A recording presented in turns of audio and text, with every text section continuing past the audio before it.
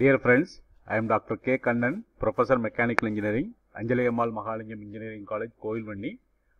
I am happy to meet you again in the video lecture in the subject Fluid Mechanics and Machines. This is lecture number 11.3. The topic is problem solving in the impact of jet.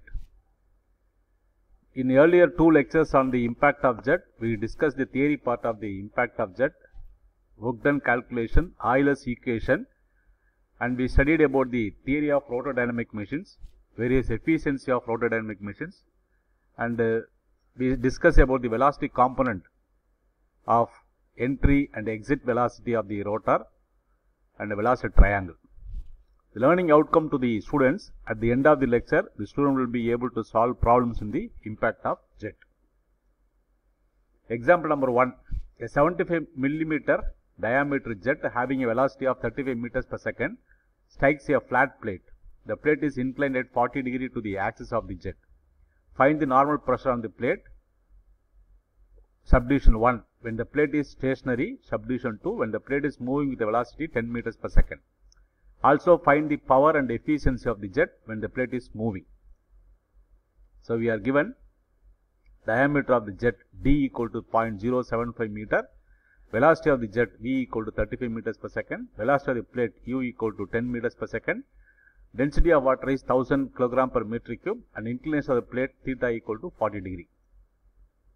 Area of the jet a small a equal to pi by 4 d square 3.14 divided by 4 into 0.075 square equal to 4.41 10 power minus 3 meter square.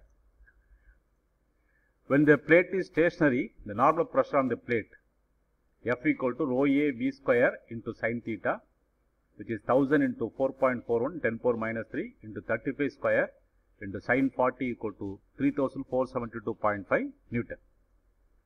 When the plate is moving, moving the normal pressure on the plate F equal to rho a into capital V minus u.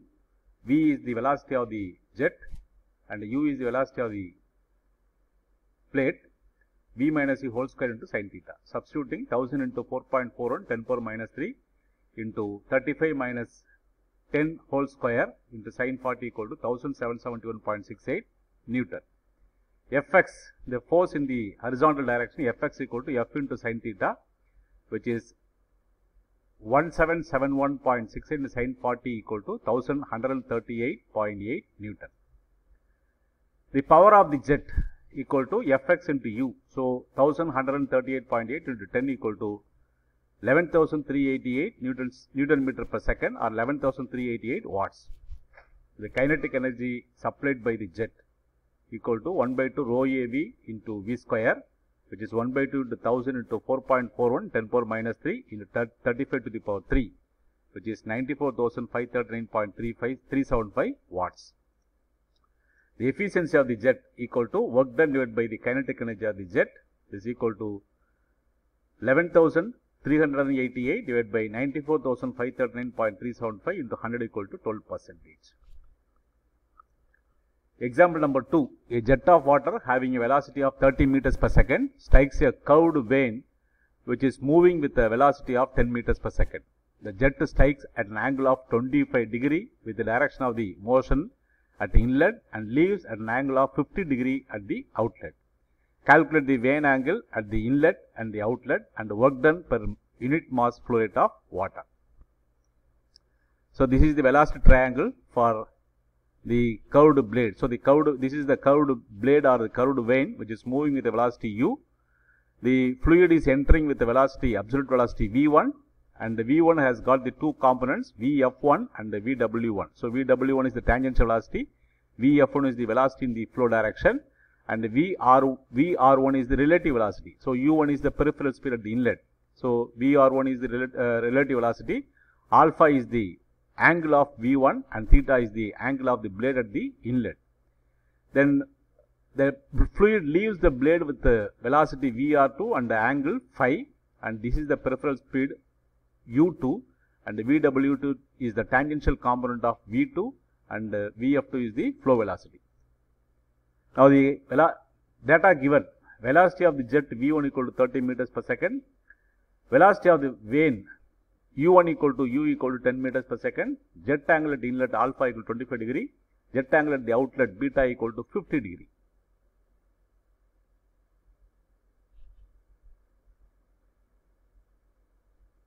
VR1 equal to VR2 for frictionless flow. So, that is the condition, assumption, there is no friction. From inlet velocity triangle, VW1 equal to V1 cos alpha, which is 30 into cos 25 equal to 27.19 meters per second. And uh, Vf1 equal to V1 sin alpha, which is 30 into sin 25 equal to 12.68 meters per second. Then referring to the inlet velocity triangle, from inlet velocity triangle, the inlet angle of the vane theta. So, theta is the inlet angle of the vane, theta equal tan inverse of Vf1 divided by Vw1 minus V1. So, substituting tan inverse of 12.68 divided by 27.19 minus 10 equal to 36.4 degree. So, this is one value. So, theta is the unknown that you have to calculate. Then from here we calculate Vr1 knowing the value of theta we calculate Vr1 Vr1 equal to Vf1 by sin theta. So, 12.68 divided by sin of 36.4 equal to 21.36 meters per second. So, whirl velocity at the outlet. So, Vw2 equal to Vf2 divided by tan beta. So, Vf2 equal to Vf1. So, for frictionless flow Vr1 equal to Vr2 and uh, we have Vf1 equal to Vf2. So, this Vw2 equal to Vf2 by tan beta. So, 12.68 divided by tan 50 equal to 10.64 meters per second. So, vane angle at the outlet phi equal to cos inverse of u2 plus Vw2 divided by Vr2 substituting cos inverse of 10 plus 10.64 divided by 21.36 is equal to 14.9 degrees. The work done per unit mass flow rate of water. So, which is Vw1 plus Vw2 into u is 27.19 plus 10.64 multiplied by 10 equal to 378.3 joules per kilogram. So, these are all the answers to the problem. Example number 3. A jet of water having a velocity of 40 meters per second impinges on a series of vane, moving vanes with a velocity of 15 meters per second. The jet makes an angle of 30 degree with the to the direction of motion of the vane at the inlet and leaves at an angle of 60 degree. Draw the velocity triangle at the inlet and the outlet and find the, the vane angle, angle of the vanes and the inlet and the outlet, work done per kg of kg of water flow and efficiency of the machine. So, this is again the velocity triangle. So, inlet the same velocity triangle we have and these are all the data given uh, velocity of water the inlet, velocity of the water jet V1 equal to 40 meters per second and the velocity of the vane U1 equal to U2 equal to 15 meters per second. Absolute angle, angle of absolute velocity at the inlet alpha equal to 30 degree, angle of absolute velocity at the outlet beta equal to 60 degree. So, from the inlet velocity triangle, we calculate Vw1 is V1 cos alpha. So, Vw1 equal to V1 cos alpha, which is 40 into cos 30 equal to 34.64 meters per second.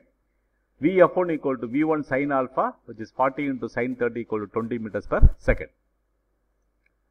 Then, referring to the velocity triangle, we calculate the inlet angle of the vane. So, theta. So, theta equal to tan inverse of Vf1 divided by Vw1 minus u, u1 which is tan inverse of 20 divided by 34.64 minus 15 equal to 45.5 degrees. So, this is 45.5 degree. Then again Vr1 relative velocity we calculate knowing the value of theta we calculate the relative velocity which is Vf1 by sin theta 20 divided by sin 45.5 equal to 28 meters per second. Then whirl velocity at the outlet Vw2 equal to Vf2 divided by tan beta which is 20. So, V of 2 equal to V of 1, 20 divided by tan 60 equal to 11.55 meters per second. So, the vane angle at the outlet phi equal to cos inverse of u2 plus Vw2 divided by Vr2. So, substituting cos inverse of 15 plus 11.55 divided by 28 equal to 18.5 degrees. The work done per unit mass flow rate of water. So, Vw1 plus Vw2 into u equal to 34.64 plus 11.55 into 15 equal to 692.85 joules per kilogram. The efficiency, efficiency equal to work done divided by energy supplied. So, work done we calculated earlier Vw1 plus Vw2 into U and energy supplied is per unit mass flow rate is V1 square by 2. So, 692.85 divided by 40 square by 2 equal to 0.866 which is 86.6 percentage. Example number 4. A jet of water having velocity of 45 meters per second impinges without shock on a series of vanes moving at 10 meters per second. The jet angle at inlet is 20 degree. The relative velocity at the outlet is 0.9 times the inlet. And the absolute velocity of the water at the exit is normal to the motion of the vanes. Determine vane angle at the inlet and the outlet, work done per kg of water and hydraulic efficiency. And this is the inlet velocity triangle. So, with reference to the earlier problem, there is no change in the inlet velocity triangle, but the outlet velocity triangle is modified for the given condition. The given condition is the absolute velocity of water at the exit is normal to the motion of the vane. So, what is normal to the motion of the vane? The vertical direction. So, this is the direction of the motion of the blade and this is the normal perpendicular direction. So, here now V2 equal to Vf2. So, V2 is the absolute velocity of the water which is equal to flow velocity. So, Vf1 is the direction for flow. So, flow velocity. So, this is the condition. When V2 equal to Vf2, this beta becomes 90 degree and Vw2 equal to 0. The whirl component at the outlet becomes 0. So, this is called as axial discharge. So, the discharge of the fluid is axial. Now, here the given data, velocity of the jet V1 equal to 45 meters per second, velocity of the vanes U1 equal to U2 equal to 10 meters per second, jet angle alpha equal to 20 degree. Here we are given VR2 equal to 0.9 times of VR1. So, there is some friction, 10% friction in the on the surface of the vane. So, the relative velocity is reduced by 90 percent. From the inlet velocity triangle, Vw1 equal to V1 cos alpha, 45 into cos 20 equal to 42.9 meters per second. Vf1 equal to V1 sin alpha, 45 into sin 20 equal to 15.39 meters per second. So, referring to the velocity triangle, we calculate theta equal to tan inverse of Vf1 divided by Vw1 minus U1 substituting tan inverse of 15.39 divided by 42.29 minus 10 equal to 25.5 degrees. And the VR1 relative velocity equal to Vf1 by sin theta. So, 15.39 divided by sin of 25.5 equal to 35.75 meters per second. Relative velocity at the outlet VR2 equal to 0.9 times of V1. So, VR2 equal to 0.9 into 35.75 equal to 32.175 meters per second. Now, the vane angle at the outlet phi. So, phi equal to cos inverse of u2 divided by Vr2 which is cos inverse of 10 divided by 32.175 equal to 71.9 degree. The work done per unit mass flow rate of water which is Vw1 u1 because here Vw2 equal to 0. So, Vw1 into u1 so which is 42.29 into 10 equal to 422.9 joules per kilogram.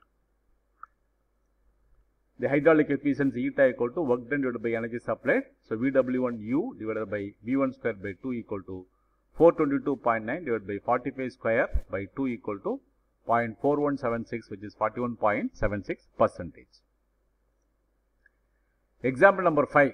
A wheel consists of radial blades with the inner and the outer radii of 300 millimeter and 600 millimeter respectively. Water enters the blade at an outer periphery with a velocity of 50 meters per second and uh, supply jet makes an angle of 25 degree with a tangent to the wheel at the inlet. Water leaving the blade having flow velocity 10 meters per second. The, the blade angle at the entry and the exit are 40 degree and 30 degree respectively. Determine work done per kg of water, speed of the wheel and efficiency. And this is the velocity triangle. Now, here we have the inlet velocity triangle at the top. So, fluid enters here and leaves at the bottom. So, this is the alpha is the velocity angle of the V1 and the phi is the blade angle at the outlet, theta is the blade angle at the inlet and the beta is the angle of absolute velocity at the outlet. So, we are given inner radius 0.3 meter, outer radius 0.6 meter. So, inner radius is taken as R2. So, inner radius is R2, outer radius is R1. Jet velocity at the entry V1 equal to 50 meters per second, jet angle alpha equal to 25 degree, flow velocity at the outlet Vf2 equal to 10 meters per second, blade angle at the inlet theta equal to 40 degree, blade angle at the exit phi equal to 30 degree. So, referring to the velocity triangle, from the inlet velocity triangle we calculate Vw1 equal to V1 cos alpha which is 50 into cos 25 equal to 45.3 meters per second. Vf1 equal to V1 sin alpha 50 into sin 25 equal to 21.1 meters per second. the peripheral speed at the inlet u1 equal to vw1 minus vf1 by tan theta. So, taking the tan theta and rearranging the terms, we will get u1 equal to vw1 minus vf1 tan theta. So, substituting 45.3 minus 21.1 divided by tan 40 equal to 20.2 meters per second. Then uh, from the given, uh, from the calculated peripheral speed, we calculate the speed of the wheel n equal to 60 u1 divided by pi d1.